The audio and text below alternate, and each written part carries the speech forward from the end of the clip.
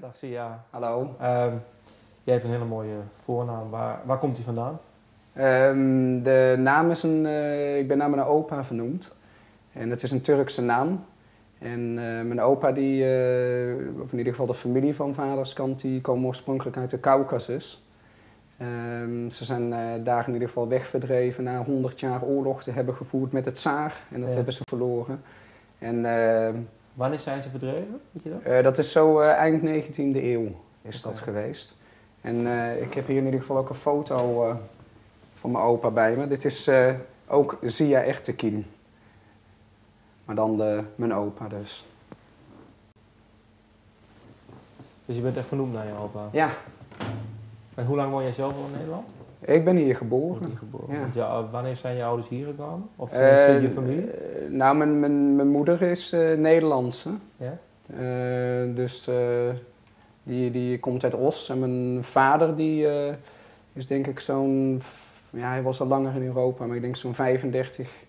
Nee, 35, veel- 40 jaar geleden of zo naar Nederland gekomen. Hij wilde eigenlijk naar Amerika toe. En de ouders van mijn moeder die hadden een kroeg.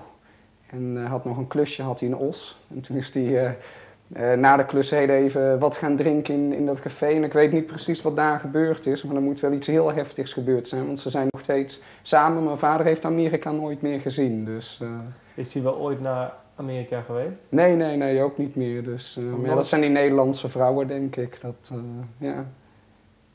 Wat grappig. En ehm, ja, we zijn hier omdat jij een, een, een, een, een unieke plaat hebt gemaakt. Ehm, Dankjewel. kun je iets over vertellen? Ja, het is een eh, 78 toeren verzamelaar. En eh, ik verzamel dus al behoorlijk eh, lang 78 toeren platen.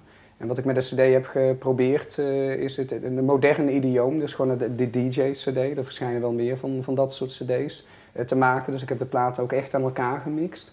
Eh, alleen de muziek die ik gebruik is dus veel ouder. Dan heb je het echt over muziek van eh, uit de jaren 20 tot de jaren 50. Eh, ik heb het verdeeld in drie mixen. En eh, de eerste mix die heet Oriental Nitty Gritty. Dat is een eh, mix met eh, jazz en hot jazz nummers met Arabische invloeden. De tweede mix die heb ik aan, gemaakt naar aanleiding van een uitspraak van Jelly Roll Morton. Dat zal ik jullie straks ook laten horen. Die zegt in een interview van, met Ellen Lomax, zegt hij, even, ik vat het kort samen, without that Spanish tinge there wouldn't be any jazz. En die uitspraak die heeft me dus echt door de Caribbean laten trekken. En daar heb ik ook veel platen gevonden en dergelijke. En de laatste mix, dat is eh, meer een, een aardigheidje die ik mezelf altijd gun. Eh, want waar ik ook ben, kijk ik altijd naar rhythm and blues en bluesplaten met mambo en rumba invloed- invloeden. En eh, daar is de laatste mix uit opgebouwd. We Ja. gaan nu van elke mix gaan wij één eh, nummer of één plaat gaan wij eh, wat beter of dieper bespreken. Ja, Ehm, ja, laten we beginnen met de eerste. Oké. Eh, dan moet ik eerst even de naald verwisselen, want we hebben net naar een LP geluisterd. Maar we hadden het hier over 78 toeren. Ik zal deze even wegleggen.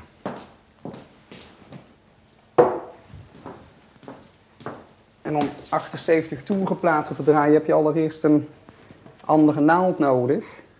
Want de groef is dieper. Eh, vroeger eh, draaiden ze die platen van die slingergrammofoons. Eh is niet echt aan te raden, want het zijn echt platenslopers.